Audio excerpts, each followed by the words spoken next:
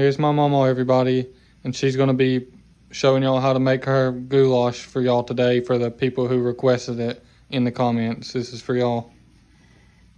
Hello, how are you today? This is this evening and we're gonna have goulash. So uh, I take my uh, macaroni and I boil it. This is the little uh, elbow macaroni. My husband was supposed to pick up the big ones, but he forgot it. So this is what we're using. We're using the, the little uh, macaroni, but it works just fine. So I boil it till it's tender, not real tender, not mushy, but just done. And then I drain it. And uh, Here's the other when ingredients. I boil it, I put uh, about two tablespoons of oil in it. That's canola oil, pure Yeah. canola oil. And I salt it down, and that way it don't stick together. And then on my hamburger, I brown it. I cut up a, a onion or two and put in it. And uh, I cut up a bell pepper and put in it. And then I just mix it all together. You just get it all browned with the with the onion and the pepper in there. Yeah. And you just dump all the ingredients together. That's your goulash. And you use, uh, you get all this in there. My husband loves the onions. His mother always made this. And I don't remember my mother making it. But when uh, we got married, that's what his mother used to fix. And uh, when we was first married, that's where we lived, was up there. She- That's yeah, tomato juice. 100% tomato juice. You put one bottle of this in there if it's a big batch. Yeah, this is a big batch. Uh, you fix for however much you're gonna, how, how much is in your family, how many's in your family. So like I was saying, Milton's mother had a two-story house. It was, oh Lord, old, old house. And uh, when we got married, that's where we lived, was uh, upstairs. And um, lived up there for about, I don't know, two or three months.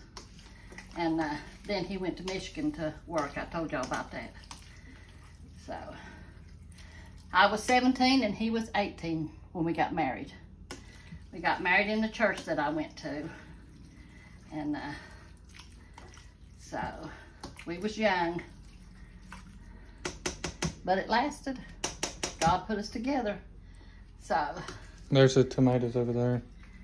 Oh, the tomatoes. I was about to forget about the tomatoes. I forgot to open them earlier. Okay. Then you use these. It's a whole Yeah. peeled tomatoes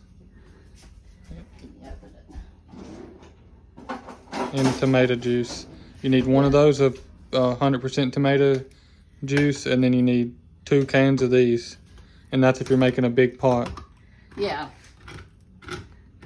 And then you need the canola oil for the noodles while you're boiling the noodles, and the salt, and that's that's it. And then the ground beef with the onions. You pour the juice in here.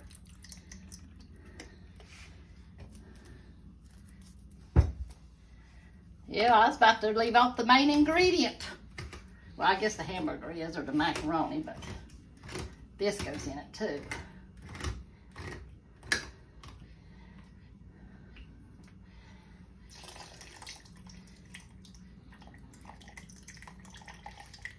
Okay, and then you uh, take the lid out.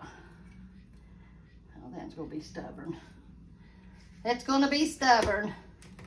And go back around it one more time. If y'all still watching at this part, make sure to like and subscribe. I love to hear where y'all from. I love to hear that you uh, you talk about the Lord, because uh, the Lord has blessed me and Milton so much.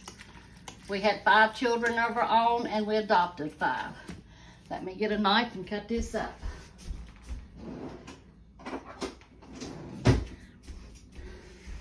And this is the way I do it. You just cut chunks of uh, the canned tomato up into it.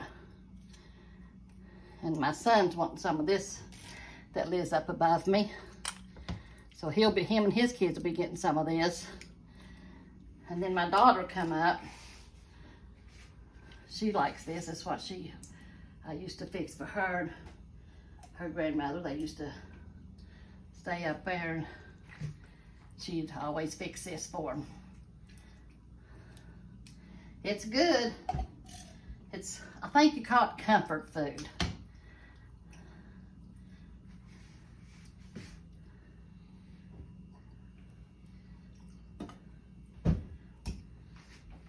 And I'm gonna turn this on and warm it up just a little bit.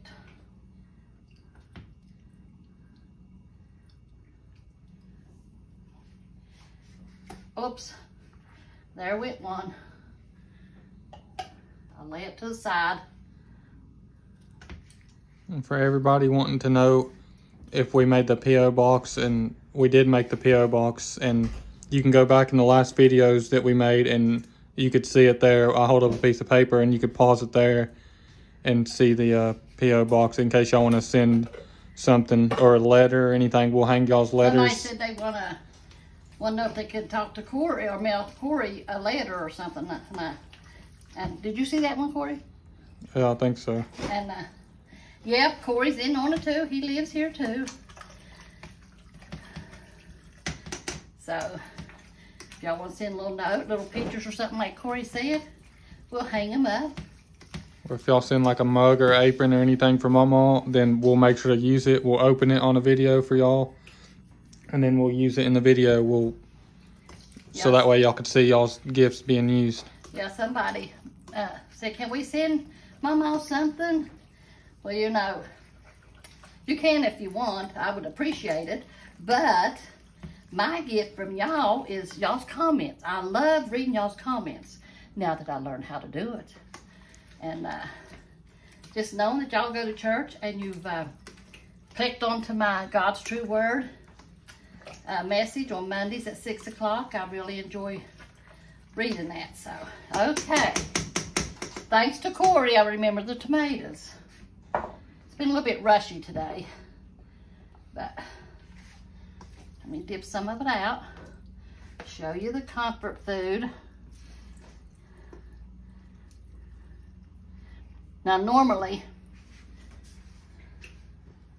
I would have green beans with this, or just a bowl of this and cornbread or crackers. So there's our goulash. And it is good. And I did make a big pot, didn't I? Uh, thank y'all so much, and God bless y'all. Yes, What- God bless you. Was you gonna try some of it for the video? Oh, yeah. Let me get a spoon and I'll try. Uh, this is for everybody who wants to see somebody taste test it. So for the last couple videos, she's been taste testing the stuff afterwards, Yeah. so y'all can And see her see, try it um, out. The bigger uh, elbow macaroni is better, but I didn't have it. My husband forgot to pick it up, so we improvise. And that's what you do in the kitchen. You improvise sometimes. So, Just try to get a little bit of everything in each mm, bite, a little bit of the meat and the tomatoes. it's good. Mm. Delicious. And thank, Thank y'all. for watching.